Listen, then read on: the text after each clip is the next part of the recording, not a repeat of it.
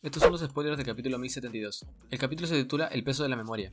Un flashback. Vegapunk explica el poder de Kuma, convierte las cosas intangibles en cosas tangibles, como hizo con el dolor de Luffy en Thriller Bark. Kaku usa su forma despertada contra Zoro, aunque Zoro lo vence.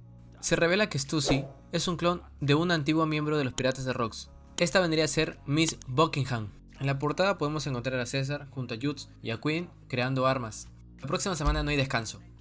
Nos explica también que Vegapunk quería que Kuma le ayudara en su experimento. Quería que Kuma materializara su propia memoria para que Vegapunk pudiese investigar cuál es el peso de la memoria.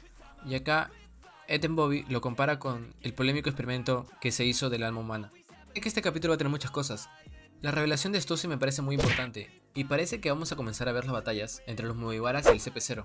Y acá nos acaban de revelar también de que Kaku ha despertado su fruta, y eso me parece un tema muy importante a, a resaltar, ya que si Kaku pudo despertar su fruta, no imagino los demás. Y si ya va siendo hora de que los Mugiwaras también puedan despertar su fruta. Sin nada más que decir, me despido.